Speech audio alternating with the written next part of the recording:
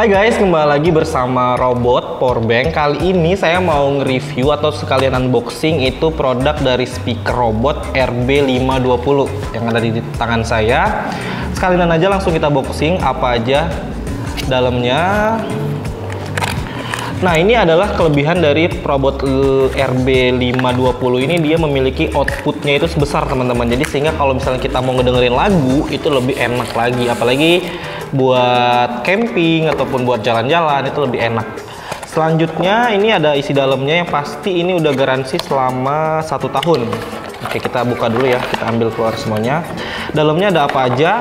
Dalamnya ini dia punya yang namanya user guide juga ada. Ini cara penggunaannya terus selanjutnya ini kartu garansi karena memang produk robot itu semuanya garansi selama satu tahun dan itu ganti baru oke selanjutnya ini ada box juga ini isinya ada kabel aux dan juga kabel chargernya Nah, aux ini sudah dilengkapi da sorry jatuh. ini kabel aux-nya itu di tiga setengah mm dan juga ini untuk USB-nya itu chargernya mikro teman-teman. Ini ada kabelnya juga. Jadi nggak perlu beli kabel tambahan lagi seperti itu. Selanjutnya kita buka produknya. Mungkin ini saya taruh di belakang sini aja ya. Oke nah ini produknya teman-teman.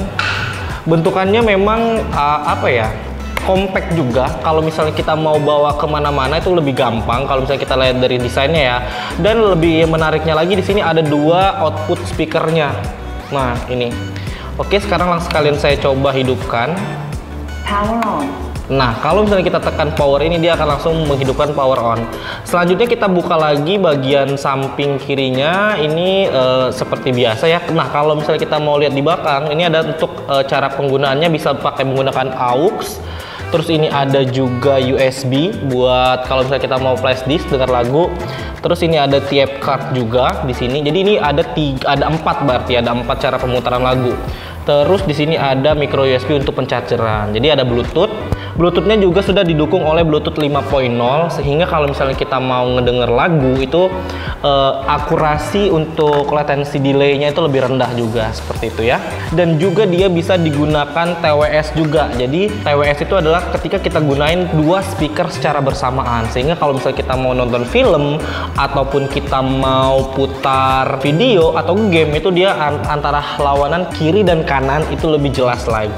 Oke, selanjutnya di sini ada tombol tombol powernya dan di sini juga ada volume up, di sini ada volume down juga dan di sini ada play and pause. Nah, selanjutnya di sini untuk playtime-nya, playtime dari speaker ini dengan volume di bawah 80% itu bisa kita dengerin sampai dengan 5 jam.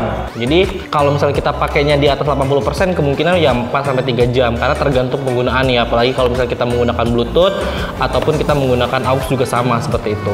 Oke, selanjutnya ini di sini juga kita kita bisa mengangkat telepon juga. Kalau misalnya kita mau telepon kita cukup tekan play and pause aja di sini selama dua kali nanti telepon akan langsung mengangkat. Karena di sini ada mic-nya juga di bagian belakang sini.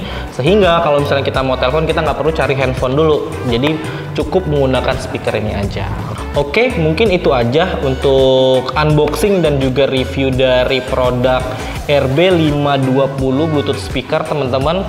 Silahkan dicek di Eh, link-link uh, yang ada di bawah ini juga ada. Kalau misalnya kalau mau buka Instagram juga juga ada robot powerbank. Toko offline terdekat yang ada di rumah teman-teman juga ada. Mungkin itu aja dari saya. Terima kasih. Sampai jumpa.